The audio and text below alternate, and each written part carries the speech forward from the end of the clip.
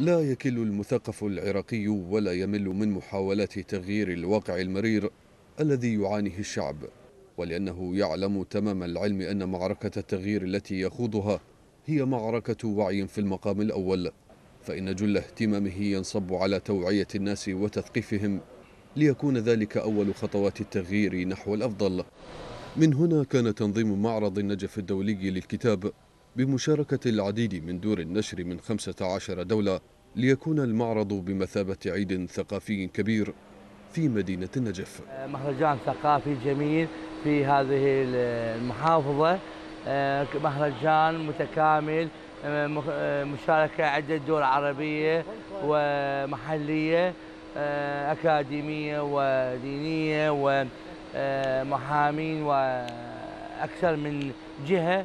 مشاركين مختلف العناوين وحدة الإصدارات من أدبية وعلمية. ولأن بناء الثقافة المجتمعية لا يقل بل قد يزيد أهمية عن بناء اقتصاديات الدول وتوفير الخدمات فيها. فقد حرص الاتحاد العام للأدباء والكتاب على أن يكون له دور بالمشاركة في فعالية المعرض. هذا الجناح يضم آه، ما يزيد عن 200 آه، عنوان ثقافي أدبي في الشعر في الرواية في النقد.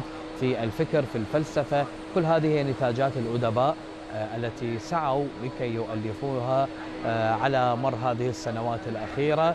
إطلالة جميلة لكي آه، يلتقي القارئ بكتابه الذي يحبه فضلا عن التقاء المبدع والمؤلف بجمهوره داخل إطار معرض كتاب. ومع ختام فعاليات معرض النجف الدولي للكتاب. يؤكد المثقفون أن العراق بحاجة إلى المزيد من الجهد الثقافي عبر إطلاق المزيد من الفعاليات ومعارض الكتاب في مختلف المحافظات سعيا لتكوين وعي مجتمعي يكون اللبنة الأولى في بناء عراق المستقبل.